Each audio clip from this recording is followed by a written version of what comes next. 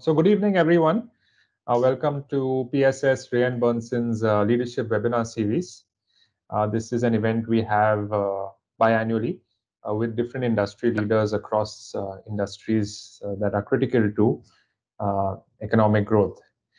today, we our focus is, as you can see, with preeminent leaders and senior executives from the Indian pharmaceutical industry. I will introduce them shortly. Before that, a couple of housekeeping points. Uh, this is a, a, recorded webinar session uh, with the consent given by our guest today. Uh, any questions that uh, one may have uh, can be addressed uh, after a 60 minute back and forth. We have on three topics of discussion for the webinar. So the first 60 minutes will be discussion with our keynote speakers on a variety of topics and then we'll open it up to the floor for the last 45 minutes of the session for Q&A.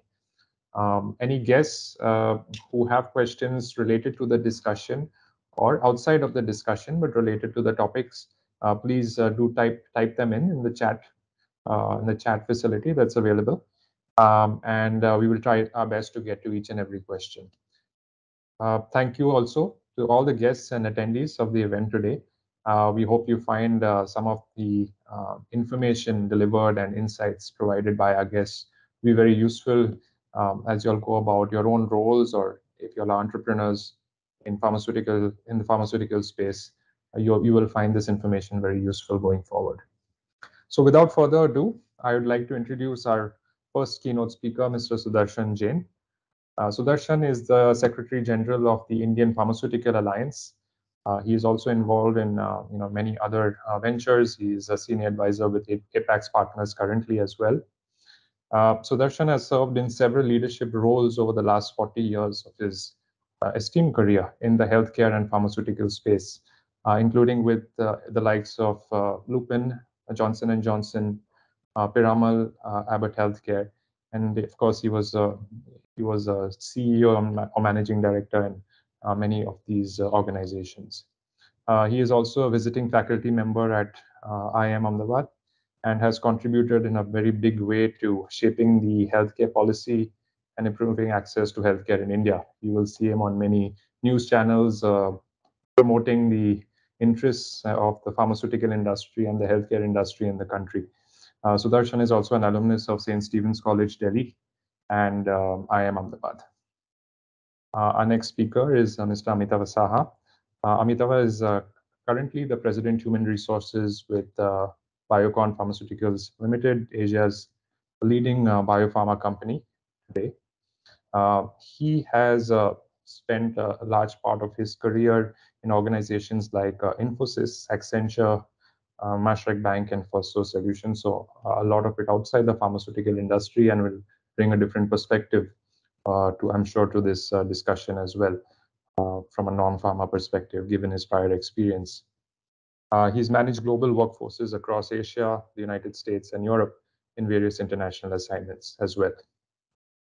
Uh, Mr. Saha started his professional career in sales and marketing uh, and then uh, moved on to an HR role, his first role with Infosys in various talent acquisition uh, and uh, human resource management responsibilities.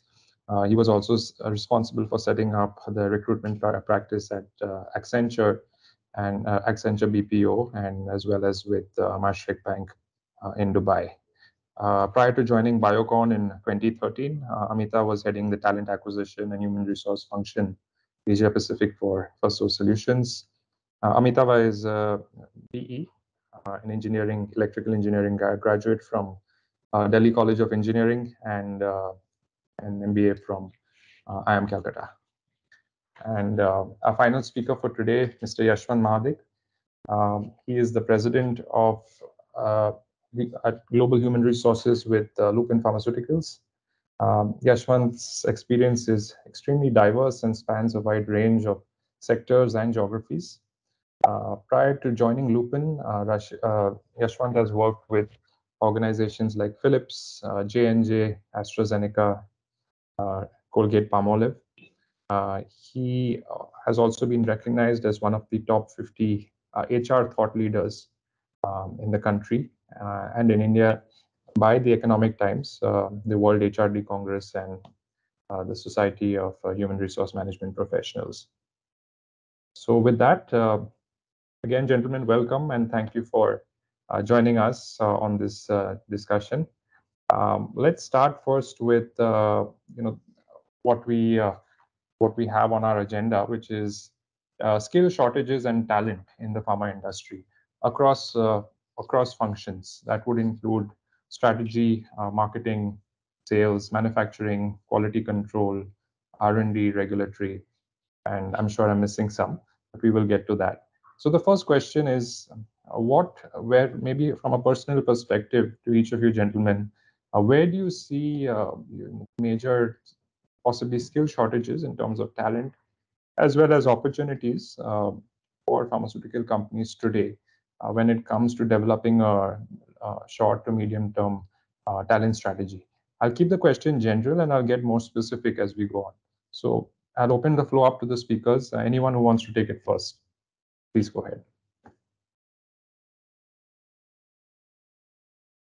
Okay, so so let me let me start, uh, uh, Mr. Jain, if that is okay with you. Yeah. Yeah, perfect, uh, perfect. Yes. So uh, you see, uh, Andre, I mean, this is our belief in the pharma industry, and uh, this is my personal opinion and view, which can be then vetted by uh, Amitava and uh, Mr. Jain both.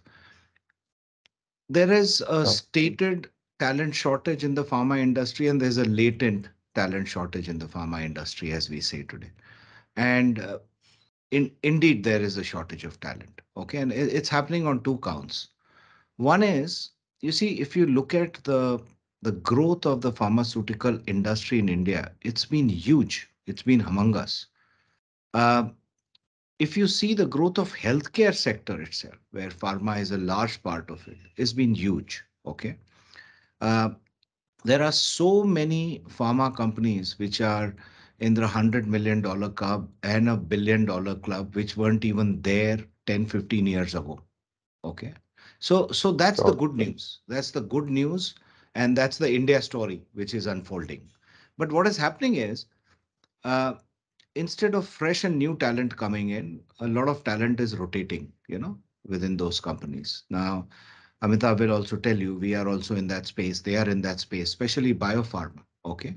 Now, these are skills which cannot be built overnight. Okay. And these are skills which take a long time to build. But when you are making vaccines or when you are the biopharma or biosimilars, whatever, you know, whichever way you want to call it, the companies need those skills. Okay. And they are uh, not just in manufacturing or in sales, you know, it's mostly in technical fields such as manufacturing, regulatory, you know, uh, medical information, medical affairs of all these, which are so what happens is that the same talent is rotating and then everyone at some point of time feels that talent shortage.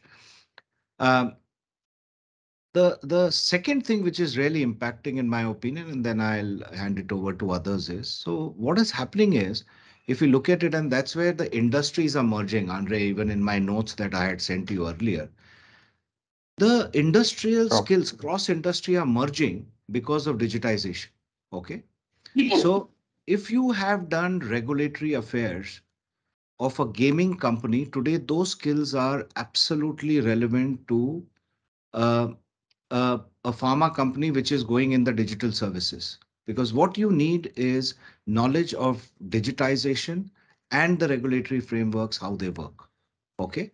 So, so these are the latent uh, talent shortages, if I may call and say so, where many times uh, companies don't even know how to properly define the JD and you want to hire for that. Okay. So, so that in my opinion uh, is what is my two cents worth. Now I request Amitabh and Mr. Jain to talk about it also. Mr. Jain, uh, with your permission, can I go next? Yeah, sure, sure, Amitabh. Sure.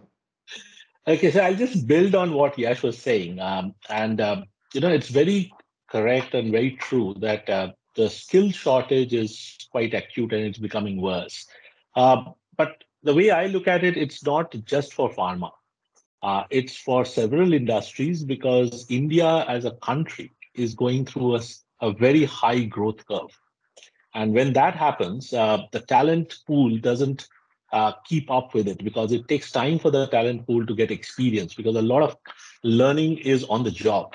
You can't teach them, like Yash said, in schools or colleges or overnight over any other platform. Now, if you look at pharma, pharma is a very knowledge intensive industry. And here, your education is just the platform to launch you. After that, everything comes from experience. And as Yash was saying, the more we are diversifying our products and portfolios, each company, uh, we are trying to uh, get people who have relevant experience. In many such cases, the experience probably is outside of India. And it is not easy to get that talent pool in at short notice or at a constant basis. So it's always a tug of war between your growth as a company, training your internal pool, losing some of your best guys to someone else in the industry, and then trying to attract people to you know fill up that void. So whether you talk of regulatory, whether you talk of quality, whether you talk of manufacturing, everywhere the talent shortage is at a certain niche profile or at senior leadership level, right? And it is being felt, in my opinion, across the industry. So I'll take a pause here. Uh, Mr. Jain, please.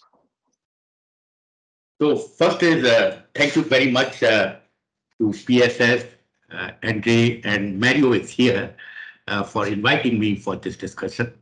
Uh, thanks also to be part of this discussion with Yash and Amitava. Uh, I have interacted with Yash and seen him working on the talent. And also I can see a lot of friends joining this discussion. I bring a very, I have been a business head for the years and I now work in private equity policy shaping. So I will first start with a comment that this is going to be the decade of healthcare for India. And maybe over a period of time, I will say why it is the decade of healthcare. Uh, two sectors which will make difference to this country. One is IT, but IT has moved hell of a lot in talent game. And second is pharma. So that is one of the important thing. And the name of the game for the companies which are going to make difference is talent, talent, talent, because talent is going to be the differentiating edge. And what I think is, I keep on talking in all the forums with the CEOs, that the key role will be HR. What IT did for 2000, 2000K, HR will do for 2020 and going forwards. So the companies which will win the, win the game is HR-focused companies which realize the value of talent. And Yash has been part of those companies. J&J, I worked, Lupin, I worked in the earlier days. I've been part of Abbott over the years, where talent and talent and talent is the critical factor. And it is not only HR agenda, it is the top management agenda, right? So that is point number one. Point number two is war for talent. So war, when I say, how do you win the talent? How do you assimilate the talent? And how do you make the talent result oriented? Given the fact that you, you have to win the war of talent. So war for talent for me is getting the best talent, winning the best talent, assimilating that talent in the organization because you can get the talent, but most of the times you can't assimilate that talent and make that talent result oriented. It is not talking, it is walking the talk, which will make the difference. Point number two. Point number three is given the fact that India will play a vital role in healthcare. The days of talent, even what marketing was yesterday. I used to do marketing, say, three years back and recognized for building the brands. But the marketing requirement today has undergone a fundamental change. Because what we are looking for is the access of medicine in this country is only 30 to 40%. Communicable diseases are going up. So the skill of just working with Salesforce is not what is required. You need omni-channel approach. I'm just giving one example. So the kind of talent which you need is undergoing a fundamental change. So first is talent will win the game. Point number one. Point number two, healthcare is a winning area. Point number three is what is the talent gap? Maybe we can discuss in different areas, the way it was there what will be required for the future in the current areas and what are the new talent requirement which will be there going forward. I will stop here and leave it to my good friends, Yash and Amita, and then we can move forward from here. Sure. I'll I'll just unless if people want to say something, please go ahead. I, those were all very insightful opening comments. Um, I'd like to build on that unless someone wants to uh, respond to Sudarshan's uh, comments. No, no, absolutely. Please go ahead. But I would love to build on Mr. Jain's uh, because, you know, just uh, two months ago, Mr. Jain and me, we were in a room. We are both alumni of J&J, Johnson and Johnson. And it was an alumni meet, but the topic of the discussion was talent. Jain Saab, if you remember. And, Yeah. um, you know, uh, what Mr. Jain spoke, he he spoke like a CEO and a business leader because that's what he has been his uh, entire career. Plus, he has been a specialist of marketing, of sales, of commercial. So he has seen it all, right? And and today he's um, uh, leading the entire consortium of the pharma industry. So let's let's build on it. I will, but but let's take the discussion forward because I'll give some specific examples, Andre, which then even Amitabh and Mr. Jain can comment on on what is really shifting because that needs to be understood. Because, you know, in my opinion, if the fundamentals are not understood, like Mr. Jain said, McKinsey had come up with this concept of war for talent. They're thought leaders par excellence. There's no doubt about it. But also, in one of the McKinsey conferences which I attended in Amsterdam when I was working there with Philips 10 years ago, I remember someone saying the war for talent is over and the talent has won it. So it's over. So what is it that we have to do fundamentally? The shift that is happening in the industry, in the workplaces, as Amitav mentioned, are critical and crucial to understand for the CEO and for the CHRO. If we don't get that right, trust me, we will keep discussing all of this till the cows come home and nothing will happen. Sure. Yash, on that point, you know, in your opening uh, note, you mentioned uh, circulation of talent across many of the major pharma companies, right? That was one of the points uh, that you sort of brought up, and also skills merging. Uh, the skills merging part was interesting. I'll come back to that, but you know, on the circulation of talent, and then you know, Amitav talked about this. Uh, there is a learning lag, right? In pharma industry is very unique in the sense that there is a lot of learning on the job, and that takes time. And so putting these two things in together, uh, uh, do we just need a lot more talent, uh, you know, from the source? So from the institutes, from the from academia coming into the pharma industry, uh, are we prepared for that as a you know at a broader level as a country to meet the domestic opportunity? Um, and what about the you know the collaboration between academia and pharma? Right, uh, I was going through Lupin's uh, careers uh, website, uh, Biocon's as well, as well as uh, several other companies. Right, a lot of the, the big organizations have their a plan in place in terms of how they can develop talent pipelines. And can you talk about this as well as you know, do we have a real real shortage, and can that be addressed within the next five years? Sure, sure, sure, Andre. So I, I'll give my take on it, and then uh, you know others uh, can you know add to it or you know comment on it. You see, there is there is a serious gap between the talent that is coming out for the industry versus what the industry needs.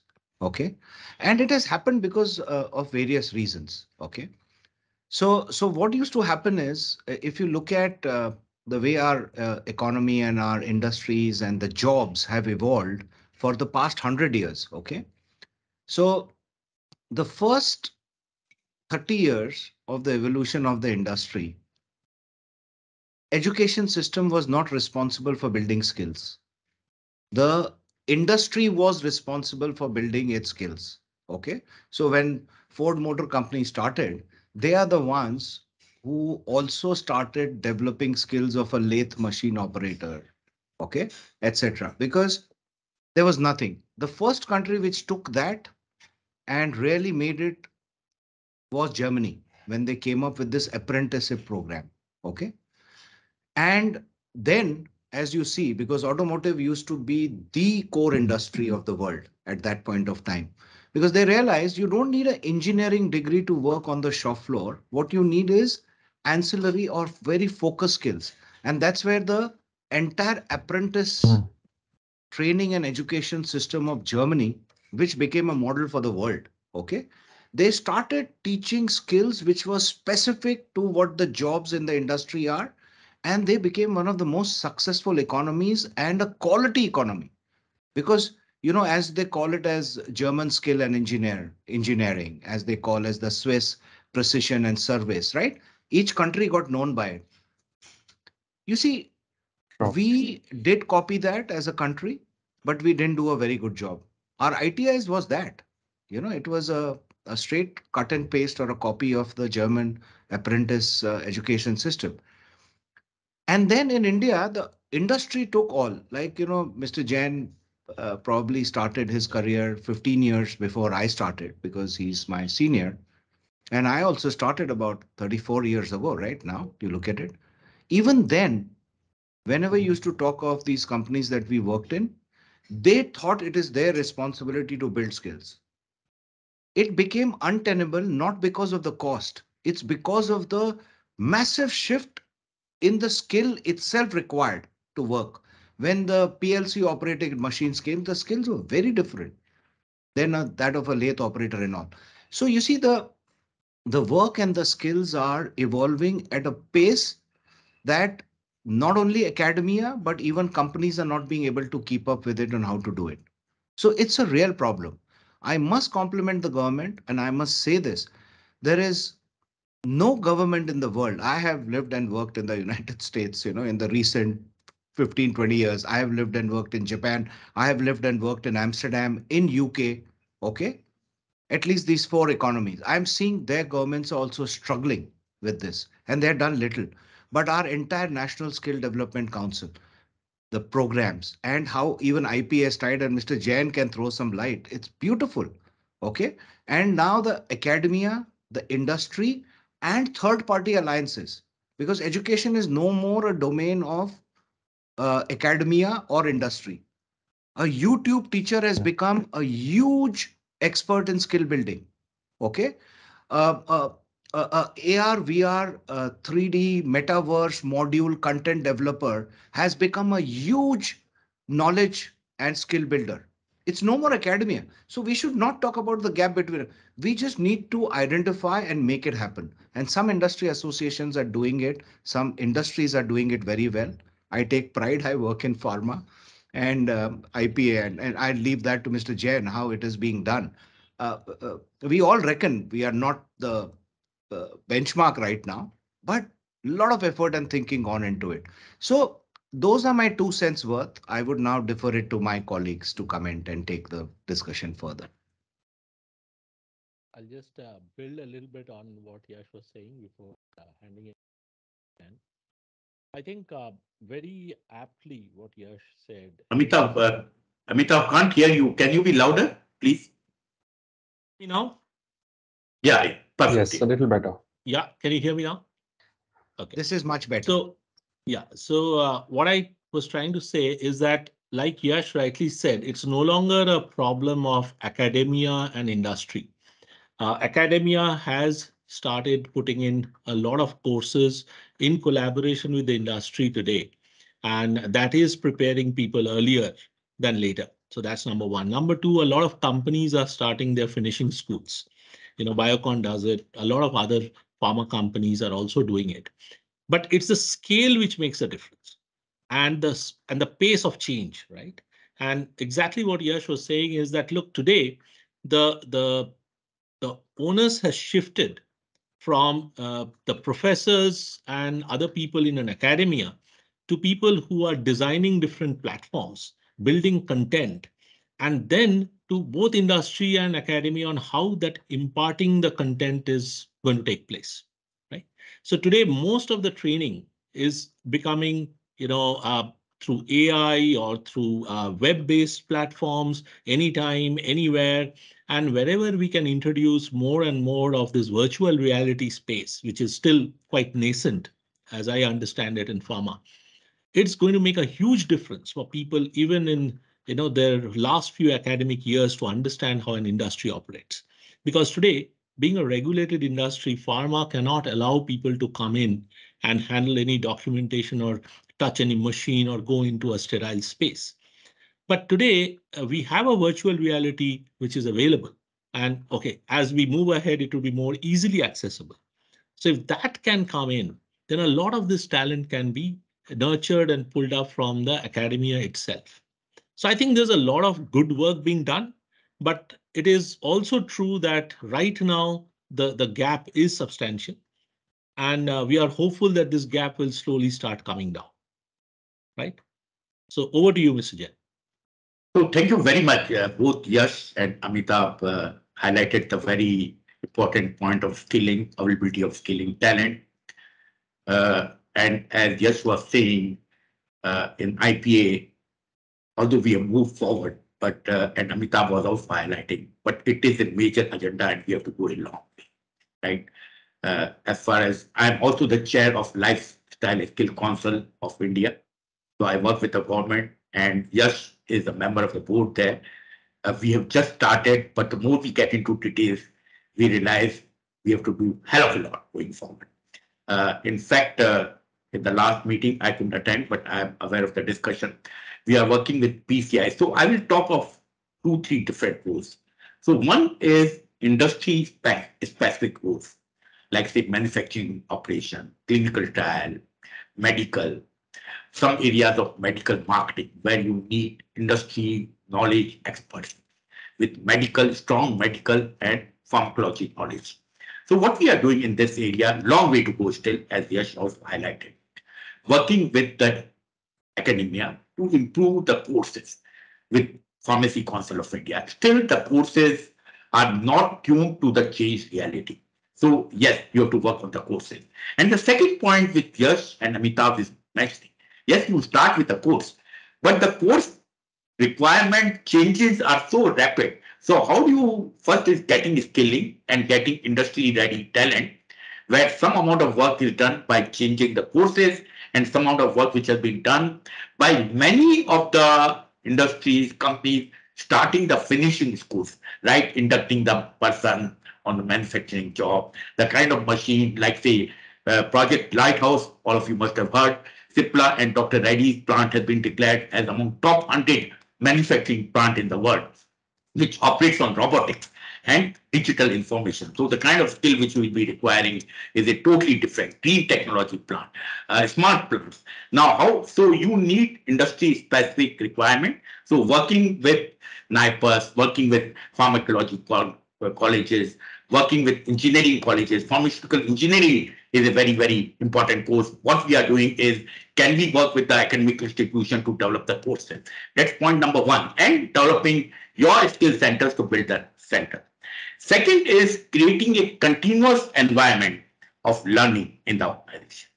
It is a very, very important thing. And the courses of online courses become very, very important. In fact, all of us must have read yesterday, Coursera uh, startup person was in India and he's talking about started digital analytic course by IIT Madras, if I remember rightly. And all the IIMs are thinking of starting online courses. So can we work with online educators and each company can work to upgrade their skills. That will be a very, very important dimension going forward. But the two things which I will work both on what uh, Yash is saying and Amitabh is saying is skilling, getting the right kind of skilling, and we have just started. Long way to go. In fact, uh, Yash has been right, long way to go. We are doing tinkling job at the moment, but this is a major agenda. Work with academic institutions, but that alone is not enough. Working in the organization to upgrade the skills of the employees and identifying how the changes are taking place and preparing the employees ahead of time to build on those changes. I will stop here. Great. Uh, thank you, uh, Sudarshan ji. So, you know, I would like to just move the focus a little bit to specific areas uh, functional areas, right? So, the quality control function has been in the spotlight for Indian pharma over the last decade. Uh, right? Uh, people have talked about since now we are talking about, you know, uh, you know, skill shortages and meeting that through various programs and um, initiatives. has that been an area that uh, has been uh, largely addressed by pharmaceutical companies to meet, uh, you know, norms of uh, you know of the regulated markets when it comes to production, manufacturing, and quality control. Uh, yeah, Sudarshan, Sudarshanji, maybe you can talk a little bit about how IPA is helping uh, in that, or has that problem already been solved? So uh, quality was one aspect. Another thing that seems to be recurring in these conversations is, uh, you know, technology is playing a very critical role. Uh, Sudarshan did mention uh, robotics, right, as part of uh, uh, this joint initiative, uh, Project Lighthouse. Will robotics also be the future in production and, you know, smart manufacturing?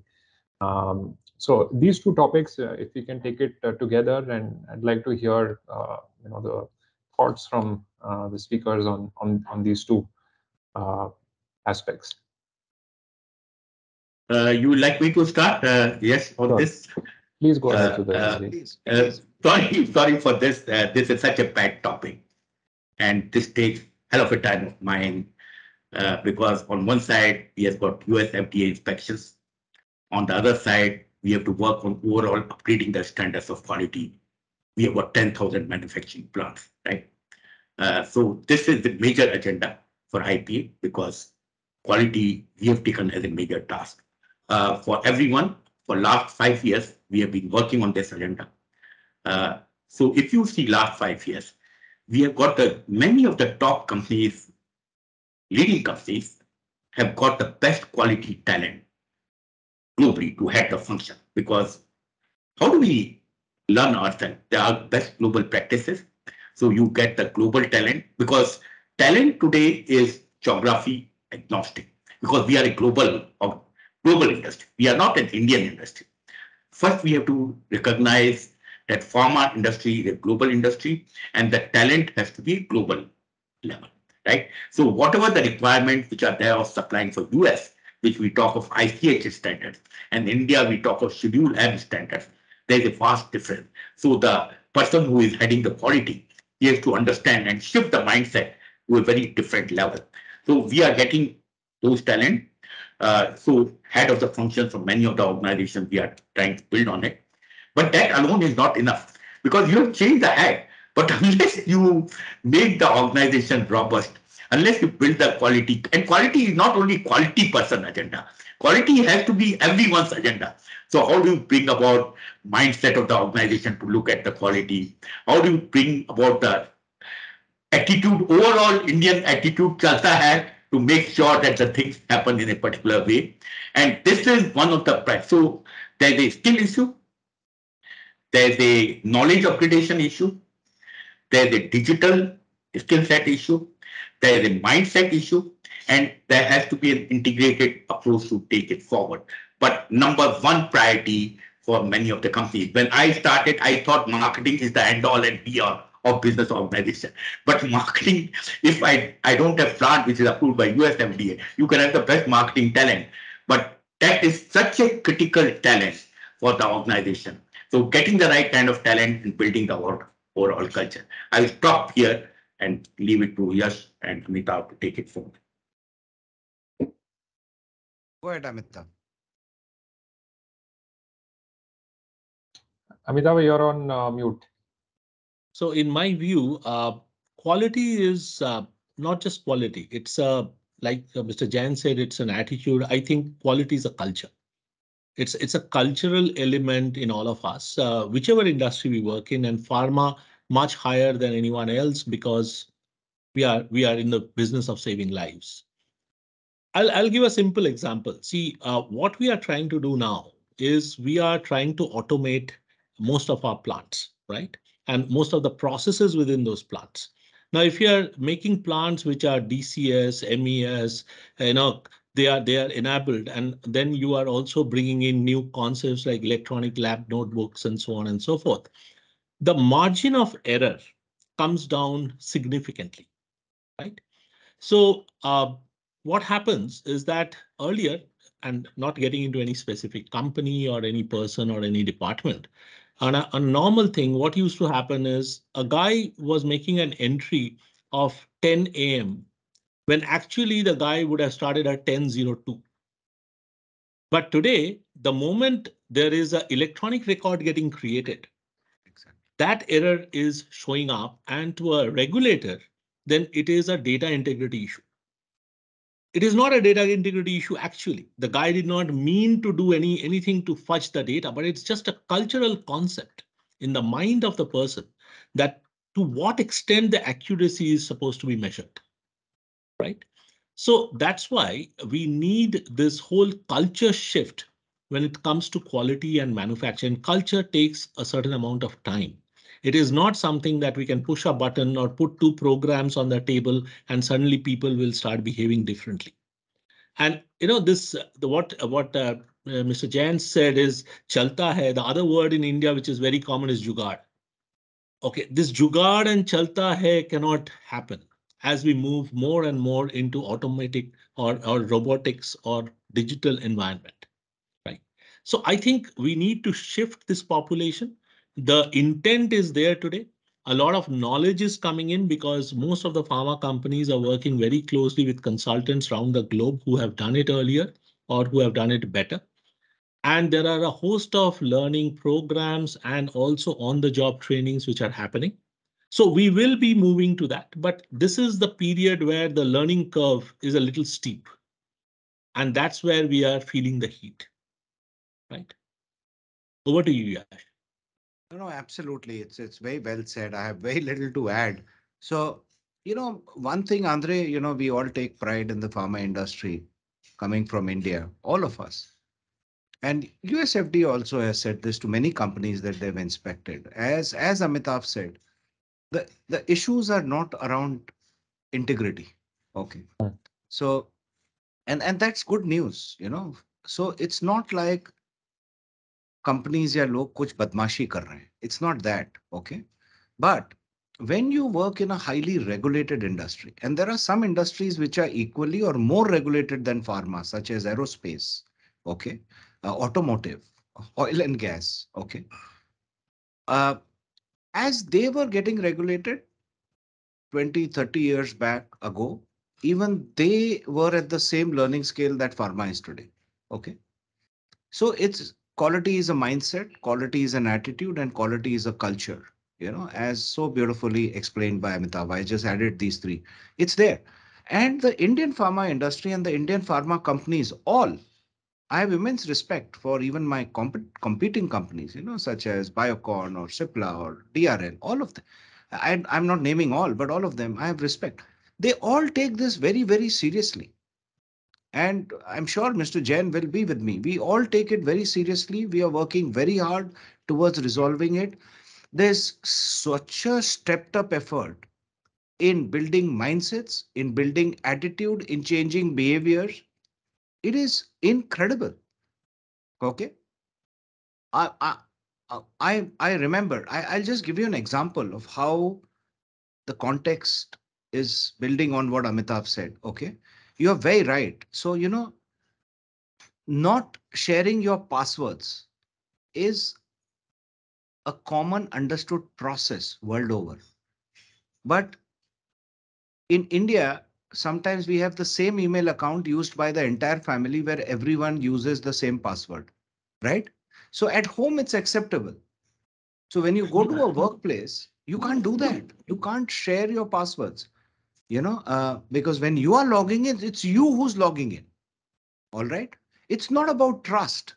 It's it's about a process. So process orientation is the fifth thing that I'll add to it. You know, apart from mindset, attitude, culture, behavioral uh, changes, I would say process. Process.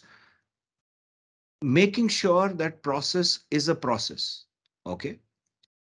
And and a lot of work is going into that. I'm confident I'm confident this will pass. A, a lot of that cultural mindset, everything it get built, but it's a journey. It can't be done overnight.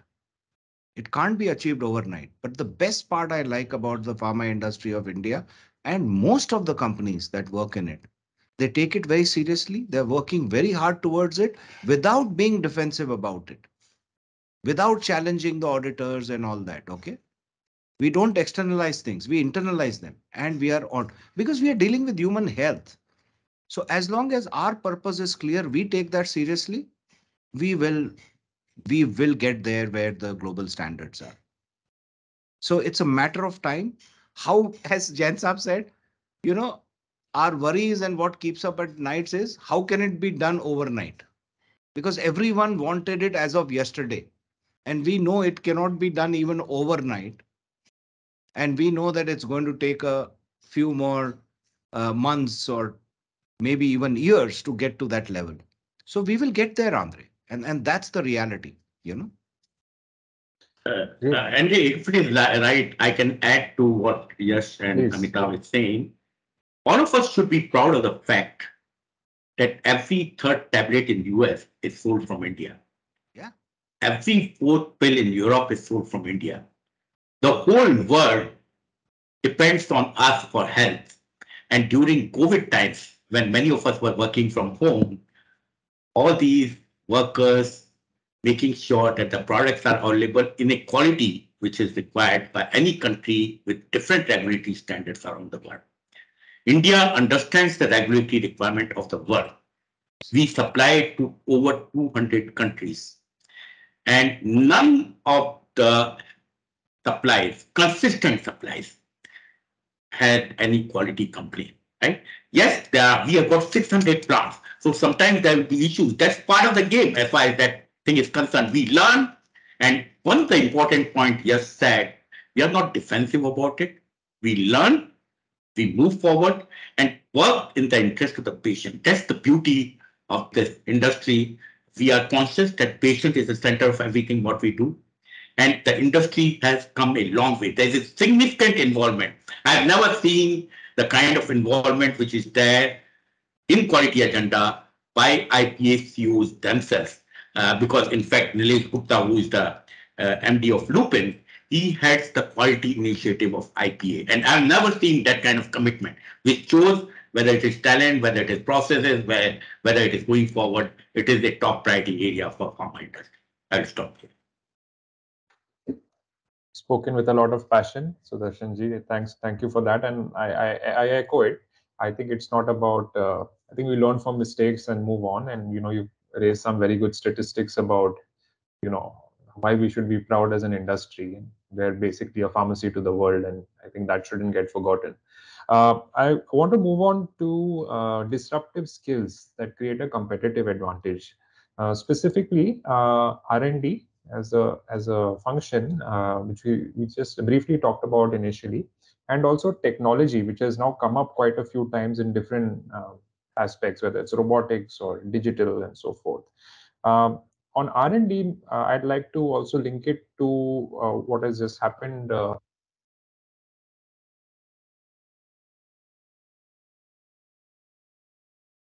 we, we can't hear.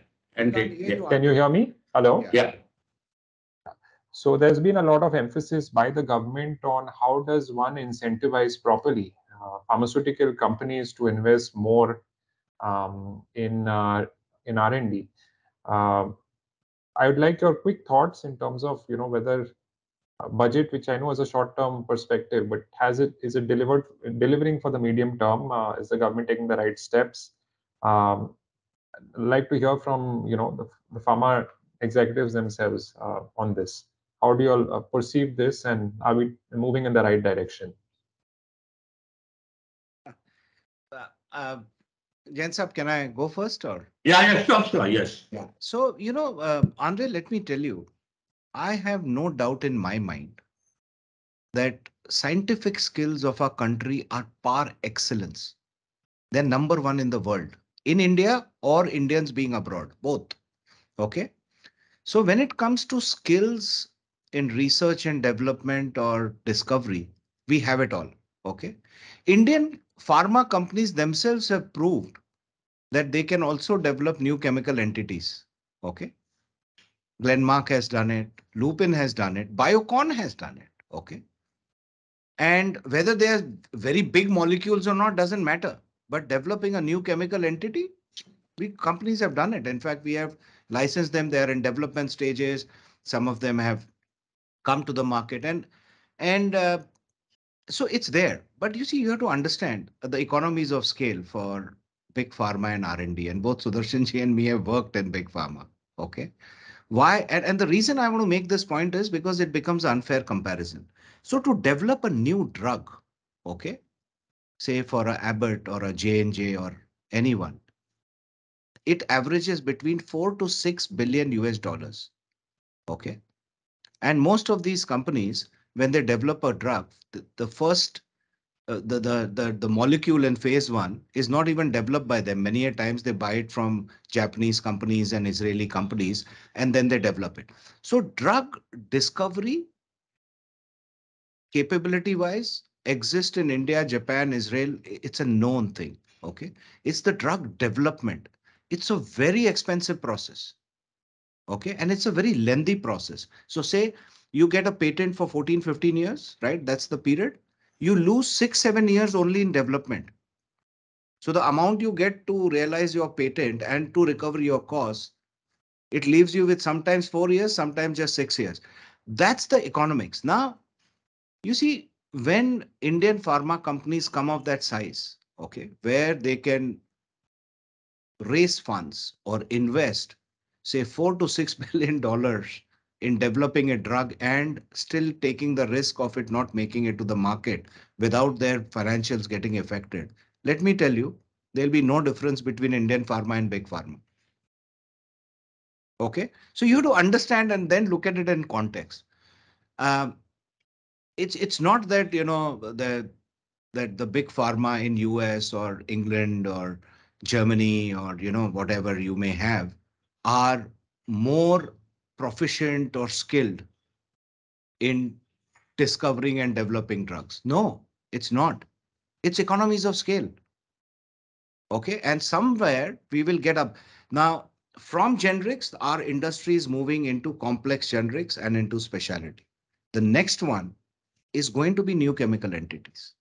It may take some time and, and you have to allow that to happen. As the Indian economy grows, we because we grow, the Indian economy grows. So you see how this is all connected. So I wanted to give this spin, uh, Sudarshanji, uh, on this debate rather than just the skills, so people understand the uh, the complexity and the magnitude. Uh, over to you, Sudarshanji and Amitav. So maybe Amitav, you would like to say first, or should I? I can add a few things and yeah, you can add, and then maybe uh, one can build on what Amitav you you are saying. Yeah.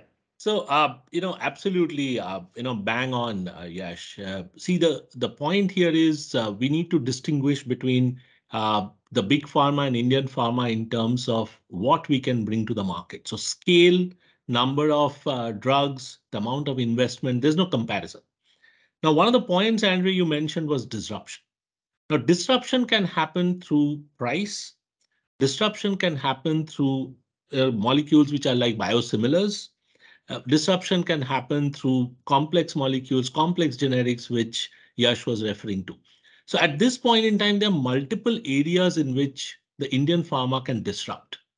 But are we actually targeting disruption? I'm not so sure right now. As a as a uh, you know industry, we are trying to consolidate the industry. We are trying to strengthen the industry.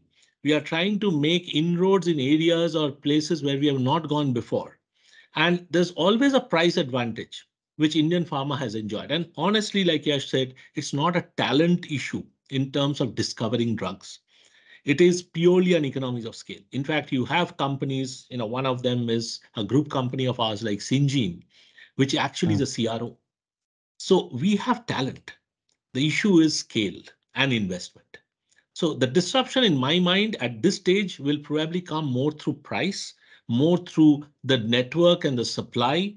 And, and then over a period of time, it will come in more complex molecules. Over to you, Sudarshanji. Uh, so uh, thank you very much uh, for Yash and Amitav to set the context. Uh, so at the moment, we are very strong in small molecules like metformin, anti-TB drugs. And let me also once again state the fact for everyone India changed the world by supplying TB drugs by Lupin and HIV drugs by Cipla. The world, if I go to Africa and if I go to any part of the world, they will worship those companies to the kind of affordable medicine, $1 a day cost of HIV drug when it used to cost $12,000 a year. Similar kind of change is being brought in biosimilar space today. And major disruption in the US market. And I'm just monitoring that, which is being done by Biocon with launch of insulins, and they are working on interchangeability of insulins. So biosimilar space, for everyone's information, we get $83 billion saving to US market every year to NCs. Next big disruption in the space, both in European market as well as US market is in biosimilars. And some of the companies which are present, Amitabh represents the company, just represents those companies. Intas is playing a very important role. So biosimilar will be the next area of disruption. Second area of disruption, and maybe I will talk also the budget. Uh, Two-thirds of the global pharma space is in innovation. One-third is in a small molecule. Innovation also includes biosimilars and complex. Now we realize, all of us realize that we have to move up the value chain. It will take time. This budget has announced that the government will announce R&D funding through Centers for Excellence, right? It is a very positive move. We will see lot happening in this particular area. Four areas for focus on innovation, regulatory reforms. Lot will be done. Like say in India, if you want to start research, you have to take permission from the government. That's the kind. So we are working on regulatory changes. We are working, and that's why regulatory talent becomes very, very important to play a role instead of only quality control. How do you get expedite the approval? Who could have imagined that the vaccine can be developed in a year's time? So the whole model of development and AI will change as far as research discovery is concerned. Second is industry academic collaboration, uh, and that's why Government has also announced collaboration with ICMR, Centers for Excellence. That is the second area. Third is funding. Now, no research in the world can take place only through pharma. Own efforts. Government supports it. And fourth is creating centers of clusters for innovation. Like we have got Boston, we have got San Francisco, we have got Singapore. So can we create clusters where you have got medical colleges, you have got companies, you have got uh, management institute, uh, you have got clinical centers. So that is the work and that is one of the priority areas. So if I want to define the priority of the industry is quality and innovation. These are two major priorities. And a lot of work is being done. A lot of talent will be required. Like say we are very strong in chemistry talent today. We will need biology talent, right? We will need global skills of conducting clinical trials right? So India, just to give another example, we do only 2% trials in the world, where 60 16% of the world population is here. So how do we make India as a hub of clinical trials? You would require different kind of talent, different kind of skills. So it is again a big opportunity area going forward. I stop. Thank you for that. That all uh, very interesting insights. Um, in the interest of time, I had one more question as it related to technology. Maybe we can take it in the final, uh, you know, on the final topic. Um, so this is related to talent scouting. It's more around talent acquisition and talent scouting. Um, I'll move the focus a little bit more now to uh, slightly more general questions in this area. Um, uh, one of the contemporary topics uh, today, uh, as it relates to uh, MNC pharma companies, um, operating in across the world and specifically in India, there is a there are quite a few products now that will be going off patent. Uh, this has impacted uh, you know the uh, the prospects for pharma companies for the next three four years. Some of them you know have a have a more of a medium to long term plan 2026 2027 and onward, but they need to survive for the next three four years with a lot of these products now going off patent what also happens is that there is a lot of talent that is available now, especially in sales and marketing, um, right? That uh, so our Indian companies, and this question, uh, you know, could go out to the gentlemen who are CHROs as well as Sudarshanji. Uh, are you all? Is this talent that you know that uh, uh, you all are looking to absorb, can absorb, want to absorb? Uh, will this talent maybe move to regional roles? You know, especially at the senior levels. That is uh, one question. The other question is, uh, you know, y'all have all worked in uh, multinational organizations at some point, uh, now working with Indian multinational organizations. Uh, is there still that cultural mindset of, you know, from moving from an, from an MNC to an Indian company and everything that goes with that? Is there still, you know, an inertia for many of the professionals out there? So two questions. I'll open the floor to, to you all to take it forward. Yes. Why don't you lead the way, Amitabh, this time? Happy to do that. Mm, so your first question, if I understood it correctly, is that uh, there is an availability of talent, uh, but uh, you know, from our sourcing strategy or how we actually employ that talent, uh, are, are we clear about it or are we going to do it? Particularly, you mentioned sales and marketing and things like that. So let me answer it in a slightly different way. We started off discussing talent shortage and we are talking of uh, talent all the way. So there are, you know, uh, areas of talent, there are pools of talent which are available today, and there are large areas which we need to develop. That's where we started our discussion.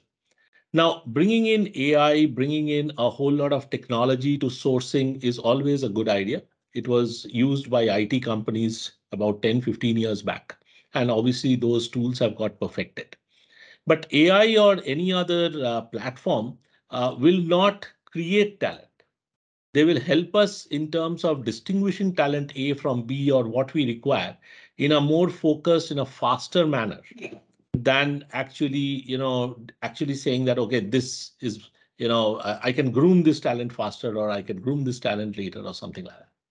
So the way I look at it is, yes, there's going to be a lot of or roles which are opening up. As Indian companies expanding, there will be opportunities for people to go in different parts, uh, be it uh, geographically different parts or within the company different areas. All of this will open up. Today, most companies have got career paths which are distinguished between individual career paths and managerial career paths. Uh, people have already started moving into different geographies for large Indian pharma companies. Uh, I don't think that is a problem the issue is more core, and that's where we started. That look, uh, as we move, see, it's a very interesting uh, thing. If you if you look at robotics, if you look at automation, uh, what's an ideal plant today? A plant which today is being run by 100 people can be run by maybe five people or six people, and everything else will be done by a machine. So, or a set of machines. So, which means the error will come down significantly. You know, I can get a better scale on profits and whatever X, Y, Z. But I don't think in the Indian context that is really going to work in the long term because India is also a country where we get a lot of qualified labor and very good labor. People who can use their brains, people who can do jobs which are sometimes very, very different and very, I would say, path breaking. Right. So let me put it in two parts. One, yes, the war for talent or the availability of talent is going to be an issue but the talent that is available will get better opportunities. So that goes without saying, and that will obviously uh, encourage more and more people to learn faster and come up the curve. Second, technology is absolutely essential, but all pharma companies and other companies also, other industries also will have to do a balancing act between whether we should go completely automated or we go automated to a very large extent and also uh, bring in talent to run those automated processes so that we can make a difference to pharma uh, where the other companies or the global companies today are not being able to do it.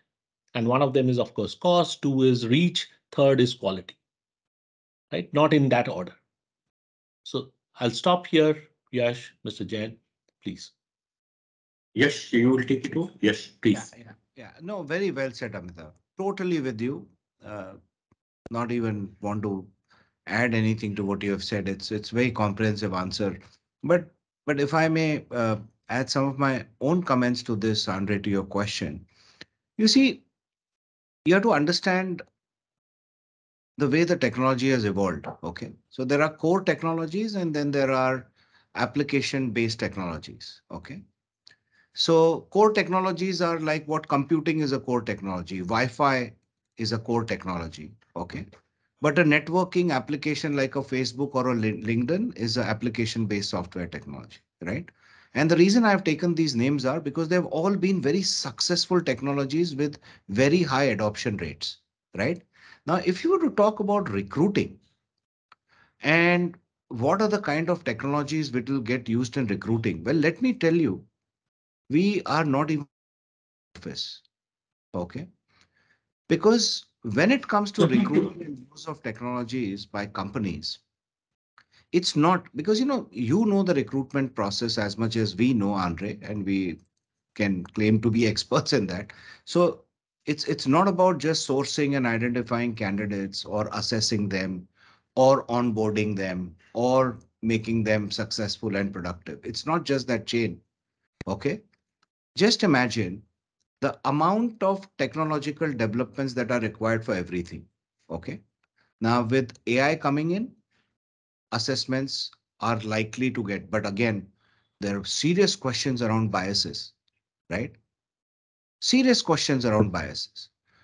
But the reason I see hope for technology and why it has to become like a core technology platform, okay, or a serious application based platform, say for recruiting, will succeed is when you are able to be highly productive. So say, for example, one recruiter or one business leader can only interview, say, four people in a day. If technology can do that and do thousand people in an hour, that that is where the scope is.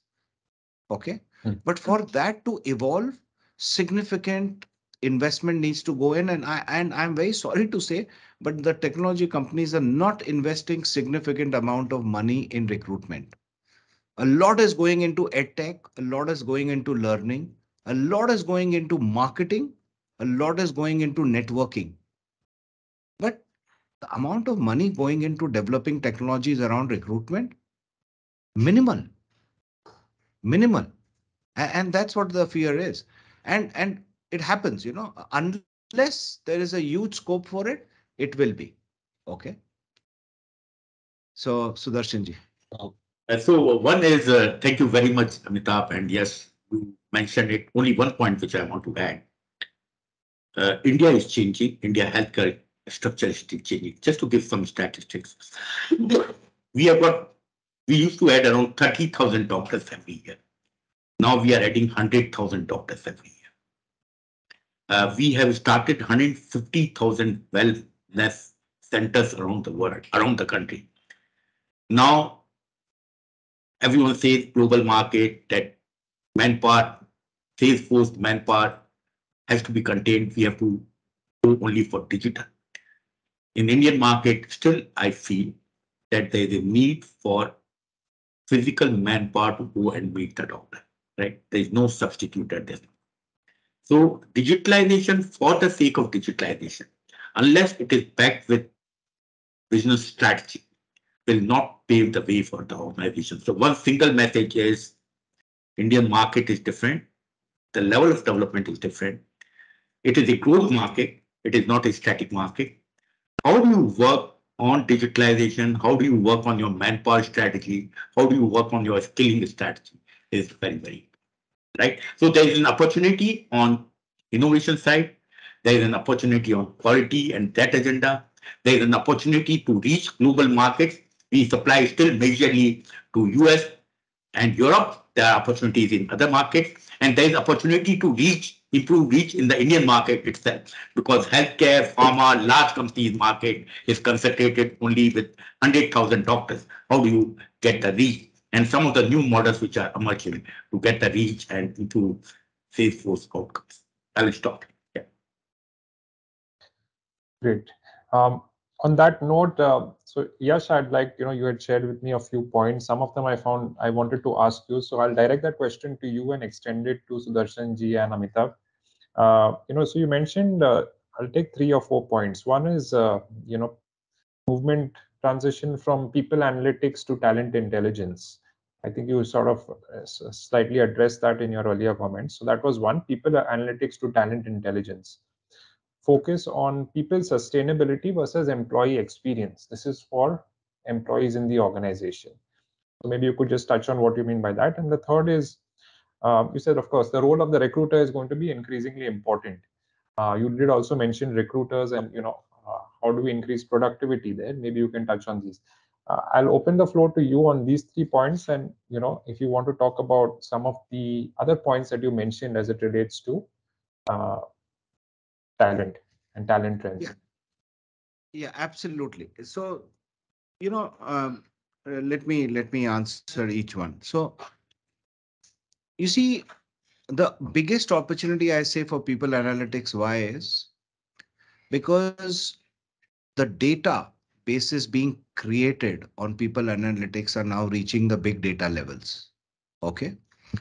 So if you look at how the technology systems are designed, enterprise-wide technology systems or platforms are designed for organizations, there's system of records. Okay, so there's a system of records for customers. There's a system of records for all financial documents and dealings. There's a system of record for, you know, uh, employees and everything that happens around it, whatever, their system of records. Majority of the organizations have been on enterprise-wide system of records for employees now. Okay, where payroll is automated and digitized, where and for not just one decade, for almost two decades. People analytics is not necessarily only related or limited to your organization. You can get a lot of people analytics from subgroup datas. Okay. But how do we go about doing it? And this is uh, this is an initiative, you know, which is being discussed by the tech companies and by the CHRO forums on how to do this. But uh, not just in India, but even uh, at an external level outside. And um, and there are various uh, initiatives which have come about, you know, which have come out like Qualtrics from SAP, etc. So I I truly believe that that's the next big step and a low hanging fruit that needs to be picked up. A lot of us today, and I hate to say this, uh, but I say it with my humility, but uh, a lot of us today in HR don't even understand what people analytics is all about. Is analytics for, uh, you know, just reporting or, or is it for doing some predictive analysis or decision making? We don't understand because majority of the people don't understand they're not progressing the agenda. Okay. So that's what my that was part was. Uh, the thing on employee experience, let me tell you, uh, employee experience has been extremely crucial throughout. Throughout.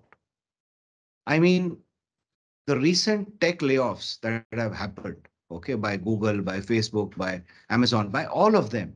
And if you see the memes which are coming, okay, everyone is saying, you know, we don't want a fancy joining kit and free coffee and seven. What we want is meaningful work and a job. So employee experience at core needs to be understood and defined. Just making people wear red caps and on 25th of uh, December and making them jump up and down and dance and cut a cake is not you know uh, fun at workplace or is not employee experience giving them a fancy joining kit with a water bottle and all that so that they can click a picture and post it is not employee. These are very small parts of them. The biggest part of an employee experience is all about meaningful work, fairness at a workplace, fair rewards, and most important is assurance. Assurance and safety related to job, health, and mental well-being. So employee experience has been redefined by the employees themselves and the organizations and the the HR communities. So again, to say, uh, are still focusing on the joining kit and you know all that. It's okay. That's important. You can do it. The third that I want to add, and maybe Sudarshanji and Amitav, I'd love to hear your views on this. I'll tell you, and this is something that keeps me up at nights. You see, this entire latest thing of uh, workforce flexibility and work from home, which started during the pandemic and has become a huge employee need. OK. It has to be dealt with very carefully. OK. Because let me tell you, organizations that totally worked from home were these tech organizations which laid off people. Organizations like pharma, we had minimal work from home because of the law. We had to keep our factories, our research labs and development uh, facilities and our sales force on the ground. Okay. But, and this is my personal opinion and view. I am seeing, and nobody wants to call it out at the risk of being seen as, you know, uh, not progressive. But let me tell you, this entire thing around too much of work flexibility and too much of work from home is costing productivity as it is India lags in productivity. It is. Tell me one thing, Andre.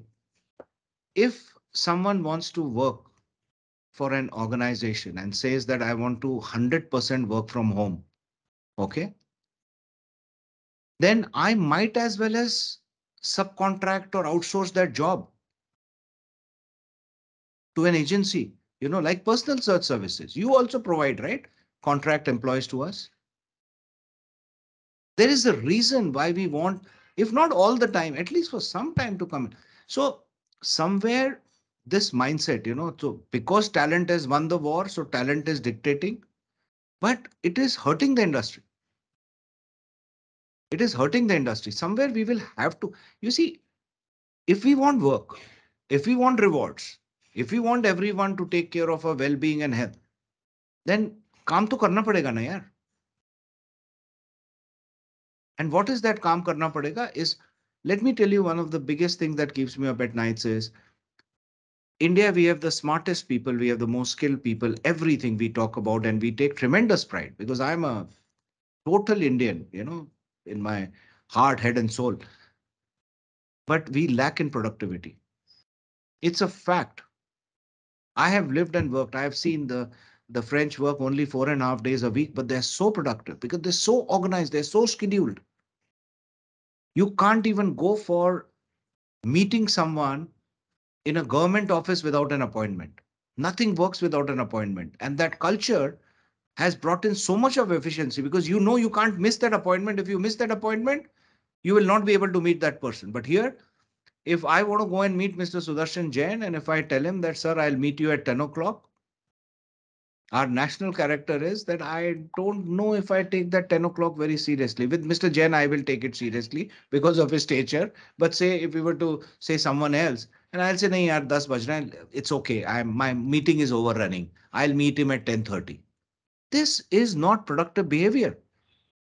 So a lot of these fundamental things have to change. If they don't change fast, we'll have the best technology, we'll have the best skills, we'll have the best intentions, we will not be a very productive nation.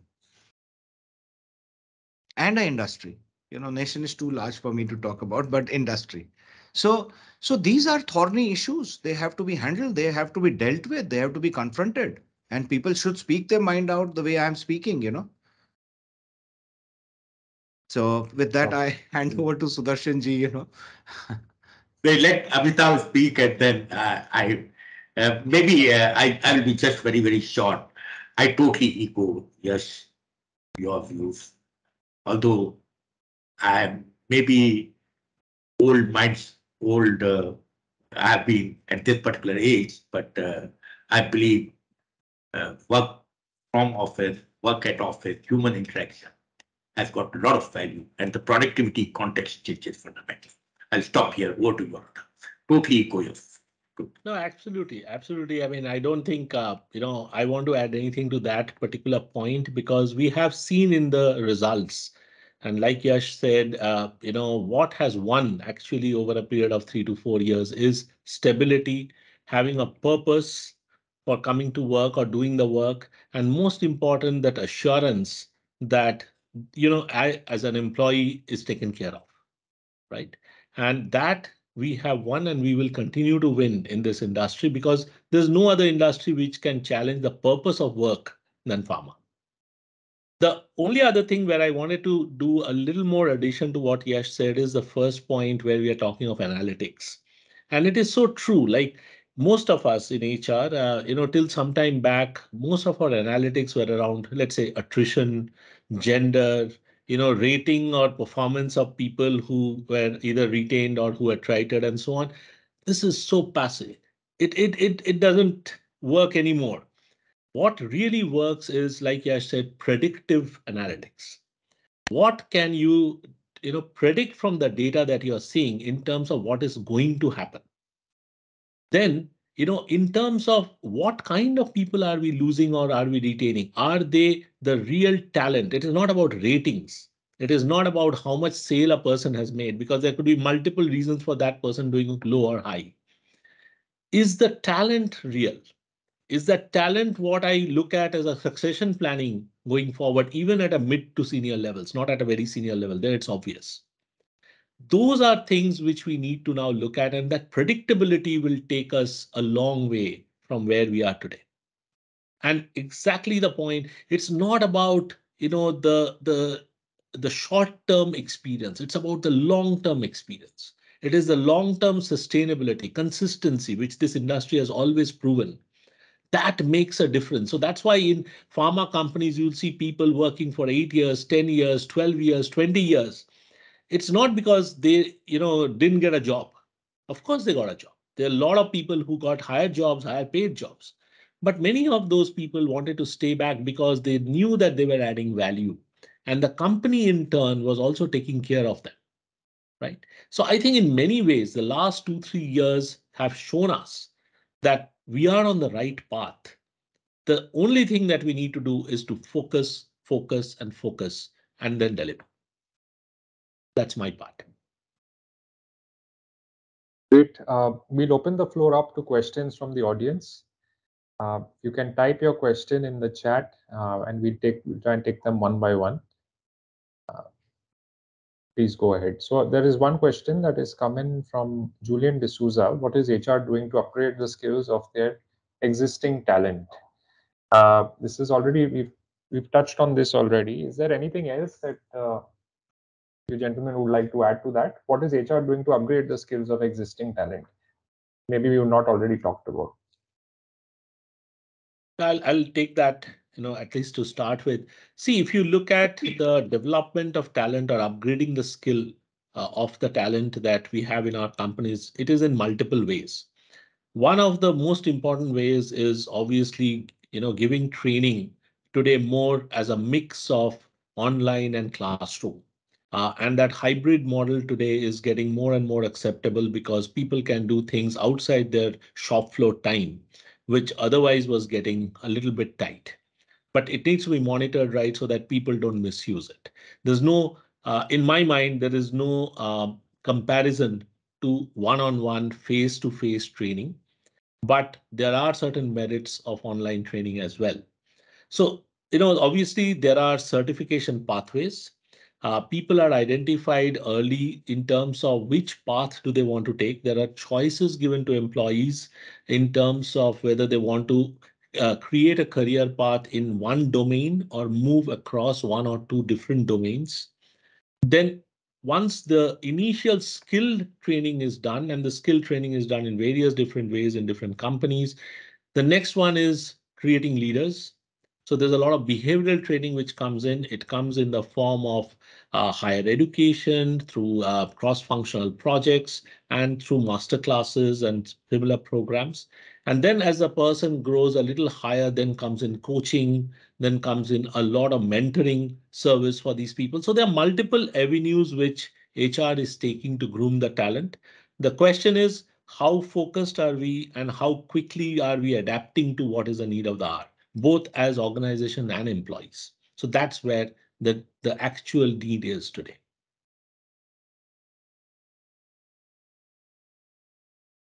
Okay, this there's another question here as it relates a little bit more to policy. Is there anything the government can do to encourage pharmaceutical research uh, on a smaller scale? Um, so outside of you know Indian big pharma, individual scientists and the like. Uh, also, you know, uh, is P, funding, you know, some of the other policy issues like tax tax benefits, um, encouraging this. So again, this we've, we've touched on this topic a little bit when we were talking about R and D.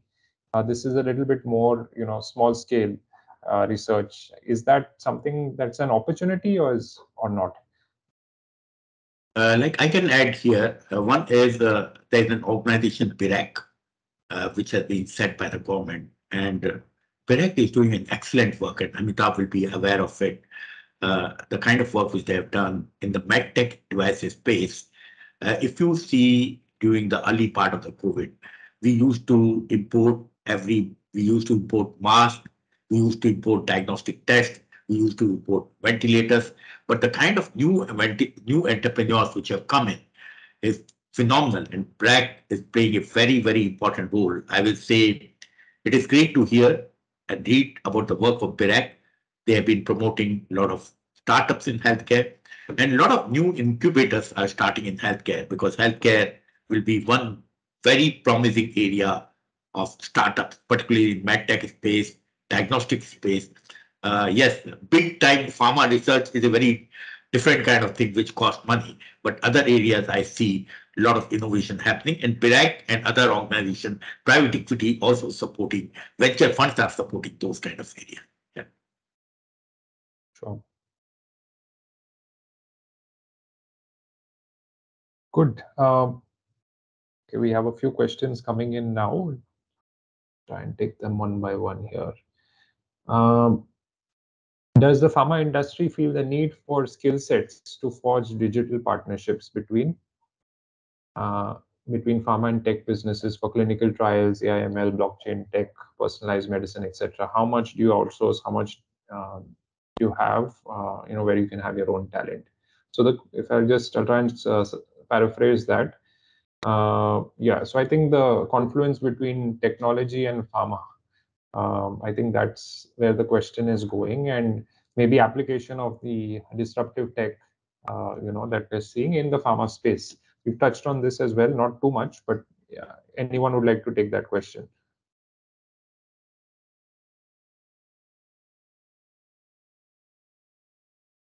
No, let me give it an attempt. So, um, of course, you know, uh, not all, but most pharma companies are also getting into digital services, solutions, and digital products business. Okay. Because they have realized that's also a way forward. So as they are building these businesses, and you know, in, in a digital business, alliances is a key role. Okay. And alliances is a key strategy because you can't develop and do everything yourself. At the same time, there are uh, pharma specific blockchain organizations which have taken birth, okay, few years ago. And when they come of age, they'll be the alliance partners. There are so many healthcare app developers, not of devices and instruments alone, but on, on just service platforms itself. So a lot of alliances have happened there. Same goes in drug development, discovery. Okay.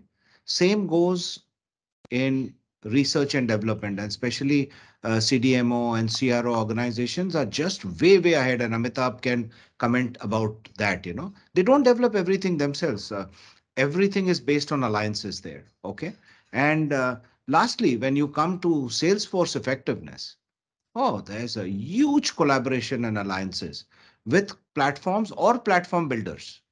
Now, every company has got a, uh, you know, AI chatbot or a AI robot, you know, helping their customers, helping their salespeople, uh, including sales training and effectiveness.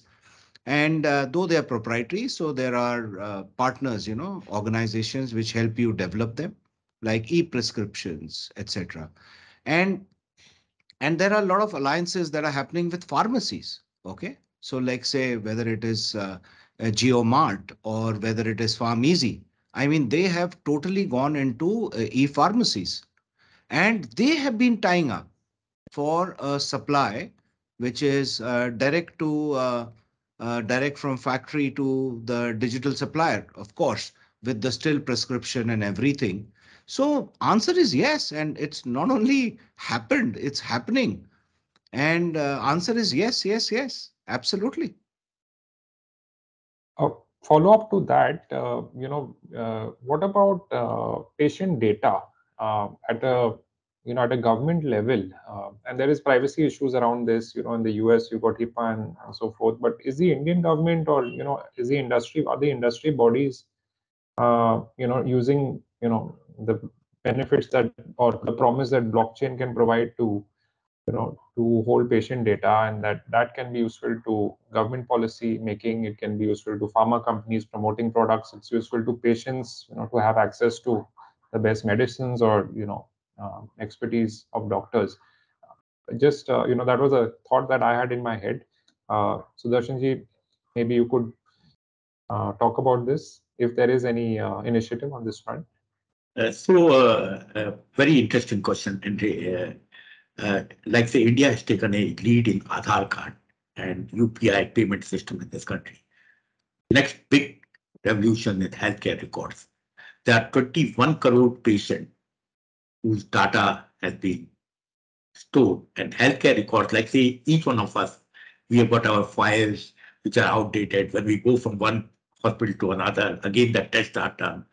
So government is creating digi lockers where healthcare data will be stored. We are also creating national registry of doctors and services, right? So healthcare record is going to be one big area. We are trying to figure out the privacy challenges at the moment, which is slightly inhibiting at this particular moment. But I think that will be a very great movement forward and it will lead improvement in the efficiency of healthcare services and also analytics going forward. Okay. And thank you very much for this interesting question. It has been mentioned in the budget this time, and Dr. R.S. Sharma, who created Aadhaar he this is his passionate project. Uh, so we are trying to find it out. How do we advance this? Thank you very much. Wonderful. That's that's great to hear. I think it has benefits. You know, if one can address privacy concerns of individuals, uh, which I, I, think in India we tend to be a little bit more lean on that. Uh, maybe I'm wrong, but I think there are so many benefits for all the stakeholders. Um, okay, so we thanks for that, Sudarshanji. We'll just uh, get back to the questions here. There's one question on behavioral training and coaching. So I did notice again on you know the websites uh, Lupin, Biocon, uh, Cipla, Glenmark, and many others, where you know while we talk about uh, technical training, uh, you know, on tech, on uh, on roles that require a specific level of uh, professional expertise, but you do mention a, a, lot. There is a lot of focus given to management, skill development, you know, and of course, you know, leadership and so forth. I would like to hear from Yash and Amitabh on on this. how you know sometimes this is seen as a little bit of a soft topic but it seems like it's very critical to uh, you know running uh, the pharmaceutical business right? A blend of both people skills as well as technical knowledge and expertise. Can you all comment on that? And you know from an insider's perspective how how important is that? And the lack of that how does it impact business? Okay um, so i'll take uh, the first. Um, so so it goes back to what I was saying that look, uh, there are different kinds of training which needs to be imparted at different uh, part of a employee life cycle. Okay, that's number one. Number two is uh, if you go back to our discussion on automation and robotics. Uh, yes, it's very important to bring in automation. It's also important to bring in robotics. But in a country like India, it's my personal view that it is not the ideal approach to make completely automated plants where people will not have a role to play. Uh, I, I, don't think that's the way uh, we are going to go, at least in the near to midterm. Uh, long term could be very different depending on a lot of other factors. Now, as you look at each stage of modernization and, and uh, you know changes that come in, what is going to be very important is how people face that change and adapt to that change. And that's where our behavioral competencies come in. That's where the culture of the company comes in. And that's where the leadership values come in. So there's no substitute for behavioral competencies or behavioral training if we are saying that we need to build more technology savvy plants or more technology savvy units. So both have to go hand in hand sure. together. Yeah, I have, I have nothing to add to what Amitabh has said. It, it's perfect. I have really nothing to add. We can move to the next question. Sure. Uh, this is an, there's another question here on uh, so how are you measuring effectiveness of talent initiatives like mentoring, uh, building digital skills, and shifting the mindset and culture? Uh, so again, a fairly open-ended question, um, and anyone can take that. I mean, uh, I can take that very quickly and tell that look, uh, there are various measures that companies uh, deploy in uh, in measuring the effectiveness or any effort that goes in. Okay, uh, whether it is marketing, promotional expenses, training, learning expenses, everything. Okay, I think of late what I have seen one of the best measures uh, that has stood the test of time and has become universally accepted is the Net Promoter Score methodology. Okay, NPS because that's one foolproof method of saying who are the, your net promoters and who are your detractors, right? That's what defines if an organization's efforts, whether internal or external, are working or not working. So, so that's the one to it. I mean, that's a, a very short and a simple answer to this. Only one point, uh, yes, I would like to add is we won't talk of diversity of talent and women joining the workforce and what we need to do, and also taking disadvantaged people in the organization, because that becomes very, very important. I will stop here. Yeah. Yeah, so that's a right, good Jensen. question. And uh, sorry, go ahead. Yes. I, I- I mean, diversity and inclusion, okay? Uh, because, you know, uh, inclusion is an attitude, is an uh, behavior, which leads to building diversity in your organization, as Jain Saab said. I think uh, we have to go a long way as a country. And when it comes to diversity, gender diversity is a big issue, therefore we are focusing on it. But it should be ethnic, educational, all, all kinds of diversity that has to be there. And that's what makes us a, if, if a organization is inclusive, if a society is inclusive, if a city is inclusive, then a nation is inclusive, right? It, it, it is ground up. So organizations play a huge role in demonstrating role modeling and institutionalizing that thinking and behavior. Okay. Uh, very well said, uh, Mr. Jain. And uh, because of ESG, the, the efforts I can see are picking up. But otherwise, you know, the efforts were uh, mostly lip service. On the uh, on the point of differently abled people, um, right? And it does, you know, some I, I guess people on the autism spectrum also fall into this category. Some of the most intelligent people in terms of IQ. Um, do your organizations have a, I wouldn't say a, a mandate, but uh, is this something you all are cognizant of uh, uh, for specific uh, functions or specific roles?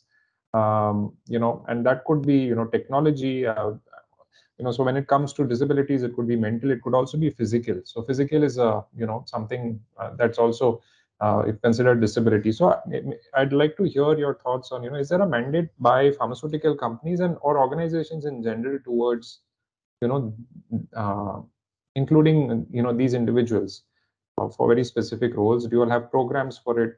Um, would like like to hear from you all on this. So, I'll- yeah, I'll I- mean. Yeah, let Sorry, Amitabh- Yash, please go ahead. Amitabh, go ahead. No, no, go see, ahead, go uh, ahead.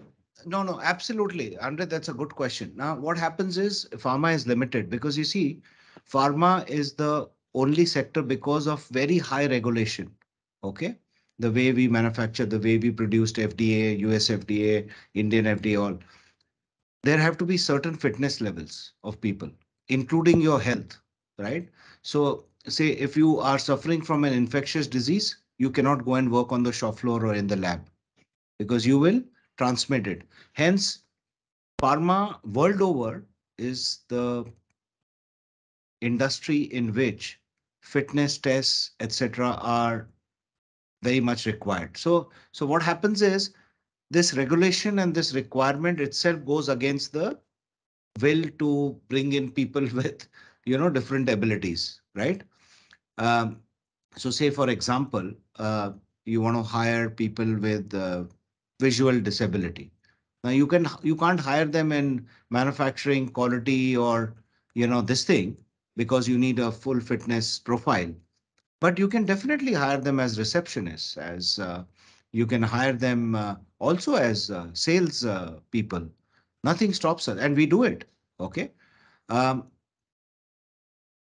so you know, I, I feel bad in saying this uh, because you know because of the legal and uh, regulatory requirements, which are right in its place, we really get limited to show that. But the amount of effort that has gone in in the Indian pharma to make all the facilities accessible to people with all kind of abilities is huge, is beautiful. I really take pride in that. So that we are making them ready because you know the work has to start from there. So if someone is wheelchair bound, can work in quality, doesn't stop you. But you need to have a building where the person can move through the wheelchair from a cafeteria to the fourth floor, to the third floor, to the reception, to the car park right? So all that work has happened, which is beautiful.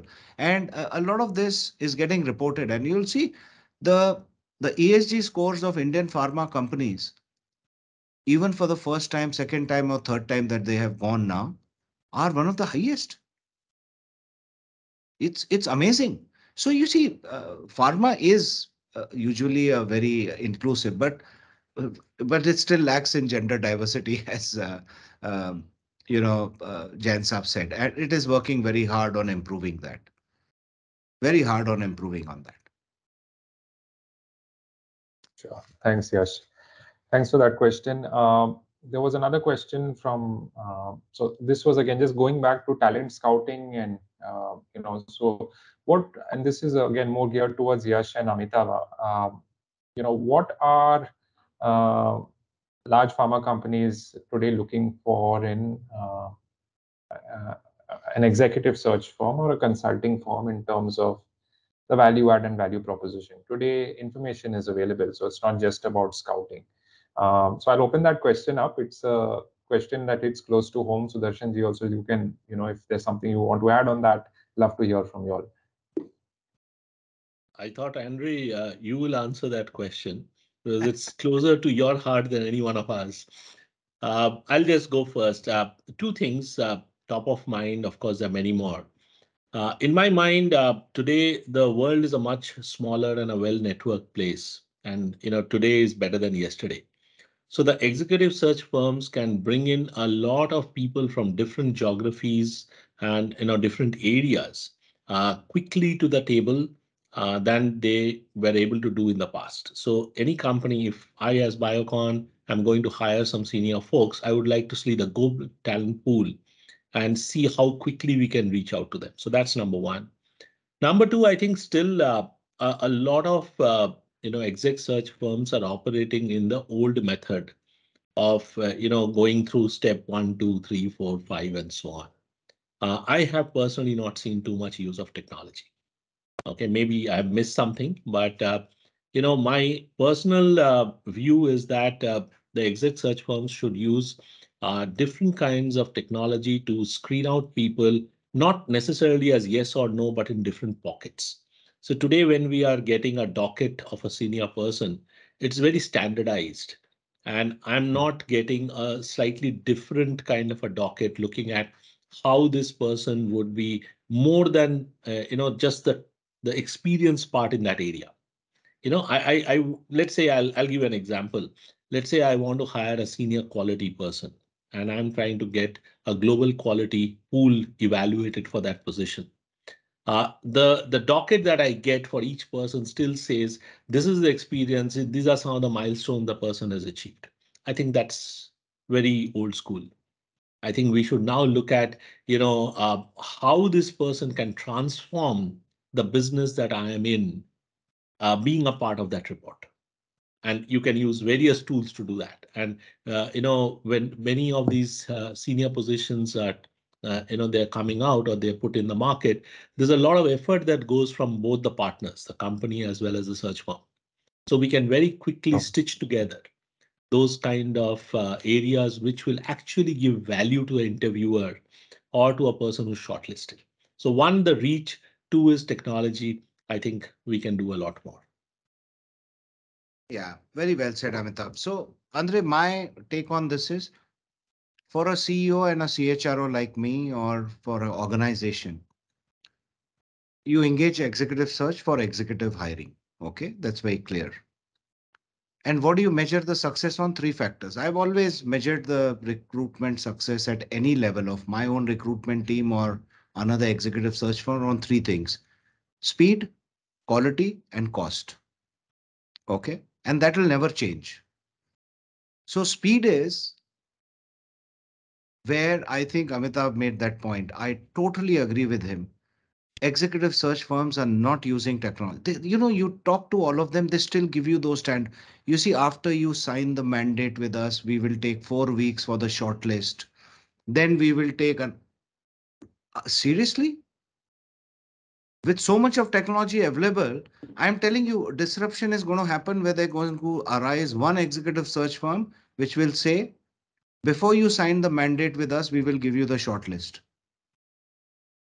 Basis that you decide whether you want to give us the mandate or not. Okay. or maybe Hmm. two days after you sign the mandate, whichever. I'm telling you that. So use of technology, again, when you come to quality, okay, so quality of candidates, uh, I'm not talking about the quality of the end hire result. Okay, that of course, an executive search firm should take greater responsibility for that. It's there. But say quality of reports on the executive candidates. When I see from the search firms, you know, and I don't want to name or shame anyone, you know, it's not, don't take me in the right spirit since this is uh, the question that you have asked. The reports on candidates are cut and paste jobs from LinkedIn, from their CVs. There, probably one benchmark in the world, including India, is Egon Zehnder. You read a Egon Zehnder report on a candidate, and you'll feel the candidate is sitting in front of you. And they use technology to do that. Senior partners write it themselves. They don't delegate it to someone junior who writes it and then just emails it. Executive search firm sends you candidate reports which are in different formats because they cut and paste jobs. Again, here it's not just technology, it is also the seriousness by the senior person who's doing that role. Okay, that is quality, which needs to happen. Otherwise, someone is going to come and disrupt it. Okay, uh, but the model and the benchmark there is Egon Zehnder. Absolutely top notch candidate report. And any CEO that I've worked with in India or outside has always said, and they have stuck to Egon Zehnder just because of their experience on the candidate reports and the way they meet. Okay. The third on the cost. Okay. That also has to change. You see, of, often the justification is yes, because we are a service company, we already start rendering service. We don't know whether we'll be successful or not. So we want to have 35, 30%, you know, or 25, 25, four times or 33, 33, three times standard. Okay. At best, all firms have now started saying pay us the last 33% only if the candidate is successful. And that has only changed since the pandemic. But all firms globally that I have a contract with for Lupin, they guarantee that they say that last part of the fees is only when the cat. So they're putting the skin in the game, which is good. But you see, gone is that luxury because no industry world only in India, say real estate, where a builder keeps taking money and keeps building your house, or a search company keeps taking money and finds your candidate. Everywhere else, the service, the product, or a solution provider gets paid only after final delivery. So why is the search industry not going down that way? Again, a disruption will happen where one big player will change it and everyone will follow suit. So, so you ask a CHRO like me, or you ask any CEO, and if they speak their mind like I do, they will tell you these are the three things. And let's ask the CEO now, Sudarshan Jain. Jain sir. Thanks so much. Uh, yes, uh, you have told it. So I will stop here. Amitabh, you want to add because your views are. No, I think I think I added whatever uh, I had to say, and I think we are completely aligned. And I think Andre, you you are in the game yourself, so you know you know what needs to be done. Sure. I wanted to check, uh, and it time wise, how much time uh, more will I, yeah, we just about wrapped up. I think it's uh, sort of uh, has worked out pretty well. Uh, I don't believe there are any more questions, and we're also out of time. So I'll use this as an opportunity to uh, thank uh, all of y'all. Um, Sudarshan ji, Yash, Amitav, thank you so much for your time. It's a Friday evening, so I'm sure you'll want to you know get back and uh, you know start the weekend. And uh, but I thank you so much for spending almost a couple of hours here with us um, and really appreciate the insights. Uh, I also want to thank the audience who joined us uh, for the event today. Uh, Mario is also on the call, so I'm, you want to say something before we close? Thanks, thanks, thanks, Amita, for uh, this very insightful session. And thank you for uh, supporting us in, uh, I think, this important initiative initiated by Andre. Thanks, and thanks a lot. Have a great No, weekend. no, thank you so much. Thank you so much, Mario and Andre, for having us. Like Jain Saab said, you know, uh, it, it's always a privilege. You know, I have I have the greatest respect for you, Mario, and the firm that you have built. Uh, it's phenomenal, and uh, thank you for the inv- invite. I hope people appreciate and like what we just said. Yeah. Thank you very much, Mario, and thank you, Andre, and thank you to Yash, Amitav, and uh, very insightful discussion, and all the participants who are there till now listening to us. Thank you for the push. Thank you very much. Thank you. Have a good evening, everyone. Thanks.